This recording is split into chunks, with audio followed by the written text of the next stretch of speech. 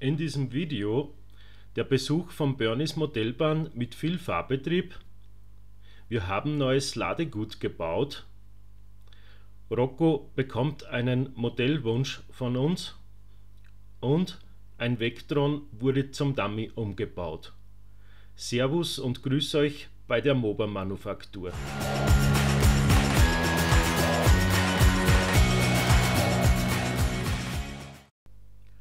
Wir hatten wieder mal Lust auf neues Ladegut und Schnittholz für Rungenwagen aller Art kann man ja immer gebrauchen. Besorgt habe ich dazu Kiefernholzstäbe aus dem Baumarkt in verschiedenen Größen. Abgelenkt wurden diese mit der auf dem Kopf stehenden Stichsäge mit Metallsägeblatt. So halten sich die Ausfranzungen im Rahmen.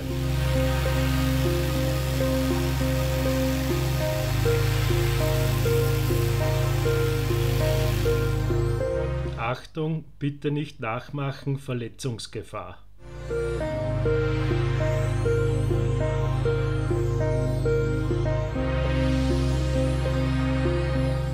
Nach dem Zuschnitt wird einfach alles zu einem Stapel verleimt.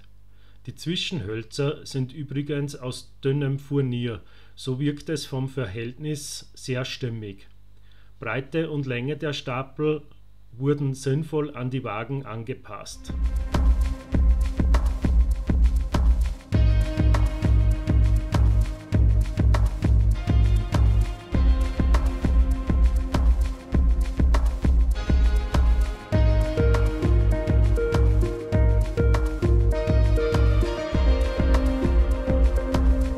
Nach dem Abwarten, bis die Stapel trocken sind, wurden noch Spanngurte aus Isolierband emittiert und teils Farbmarkierungen und Beschriftungen angedeutet.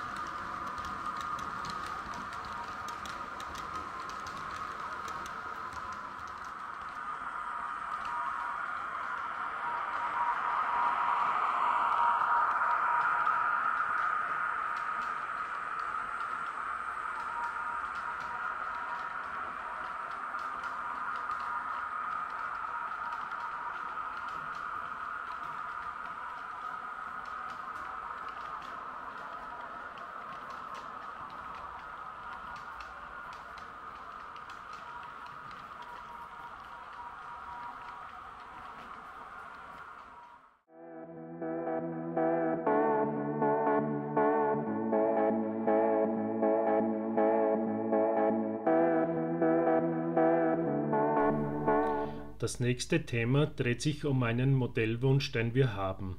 Und zwar wären Containertragwagen mit diesen Mobiler Linking Rail and Road Containern ziemlich fein. Diese stehen immer im Industriegebiet nahe meines Arbeitsplatzes herum.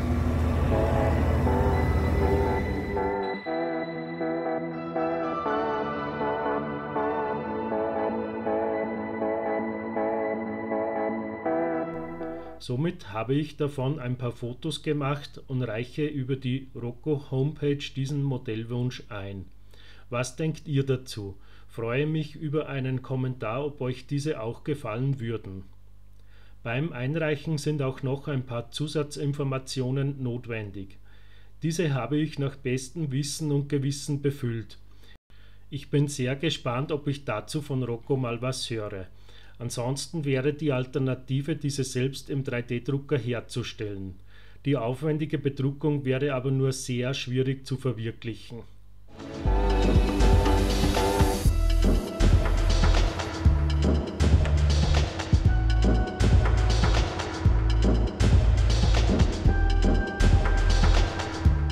Die AES Altmann Autotransportwagen sind ja bei Auslieferung ziemlich schwer. Leider schafft es ein Rocco Vectron nicht mehr den Ganzzug mit zehn Doppelwagen über meine Anlage zu ziehen, da scheitert es an den eigentlich harmlosen Steigungen. Somit war es nötig, die Wagen zu zerlegen und die innenliegend verklebten Gewichte zu entfernen. Teils gingen sie sehr einfach raus, ein Gewicht wollte mal gar nicht, mit viel Krafteinsatz ging es doch und zum Glück ohne den Wagen zu beschädigen. Das Gewicht selbst habe ich dafür komplett verbogen.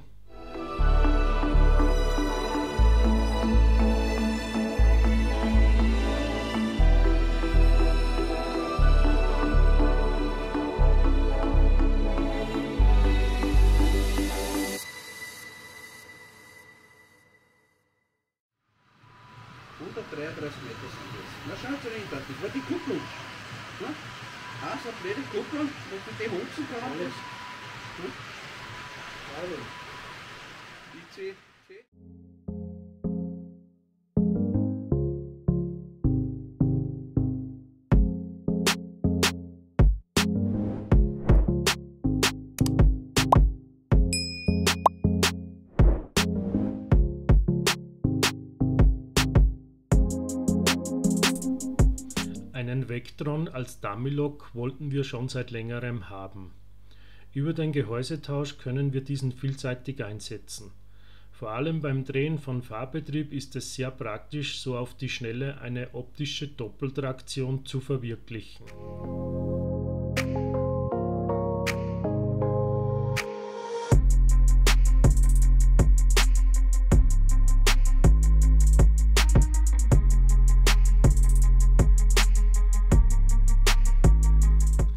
Lok wurde dazu komplett leergeräumt. Platine raus, Motor raus, Antriebsstrang raus. Theoretisch kann man diesen Umbau jederzeit wieder rückgängig machen. Wir nutzen jedoch alles Ausgebaute eher zur Ersatzteilversorgung.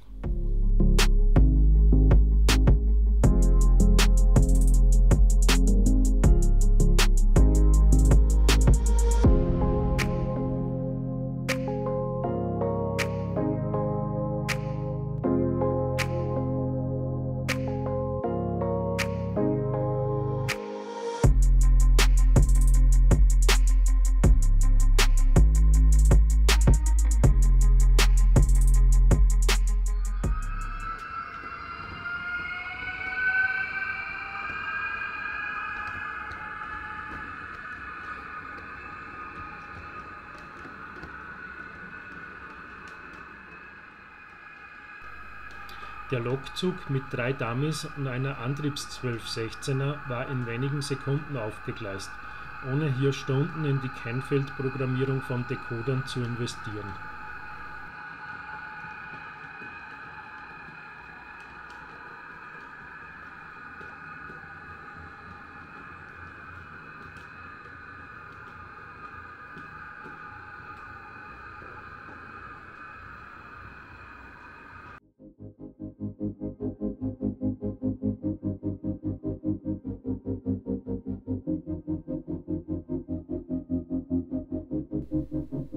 Als kleines Randthema zeige ich noch schnell unseren neuen klappbaren Basteltisch.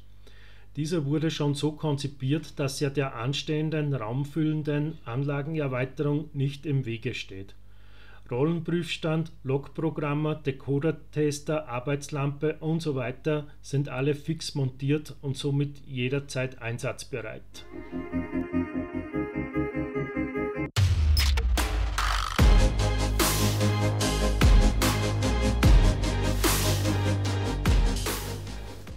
Das heutige Hauptthema ist der Besuch von Bernies Modellbahn Mitte Juli.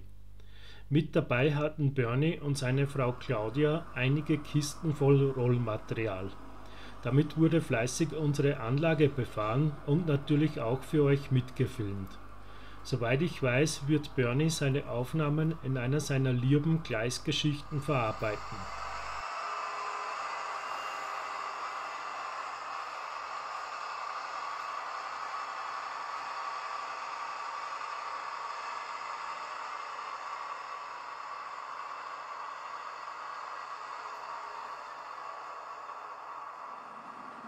Ich zeige wie immer eher rohen und zusammenhanglosen Fahrbetrieb ohne viel drumherum. Es hat viel Spaß gemacht mit den beiden und wir haben auch schon vereinbart, dass als nächstes ich dran bin, wieder mal Bernies Anlage zu befahren. So viel als kleiner Spoiler für euch.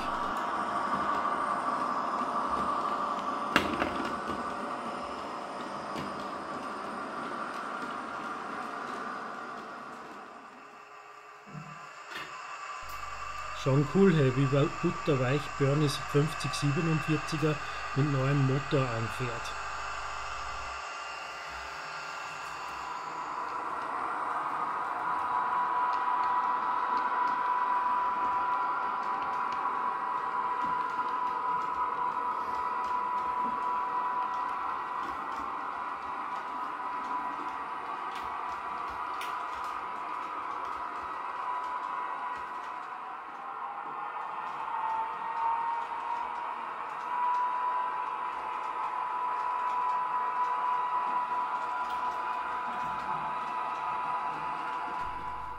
Seine Züge mit voll ausgestattetem Innenraum, also Beleuchtung und mit Maxal besetzt, sind auch richtig fein.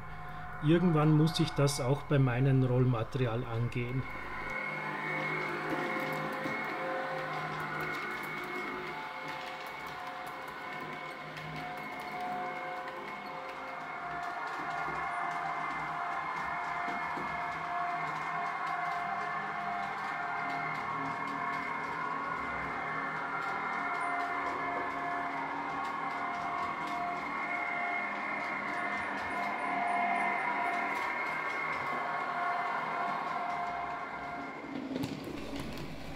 Die 1044er Schnellfahrlok hat ein wenig gerattert. So wie es aussieht, braucht die mal neue Haftreifen.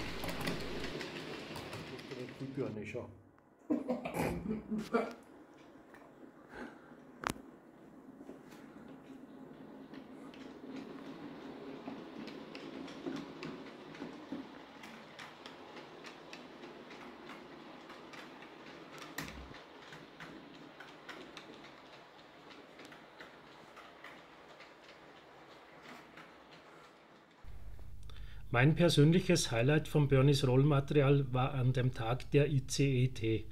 Die Neigungstechnik ist echt toll anzusehen und der Zug fuhr sehr konstant seine Runden.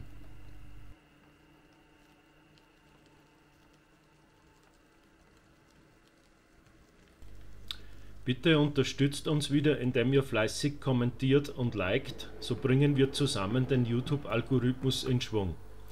Bitte auch ein Abo dalassen, so verpasst ihr keine Inhalte mehr von uns. Danke und bis zum nächsten Mal, die MOBA Manufaktur.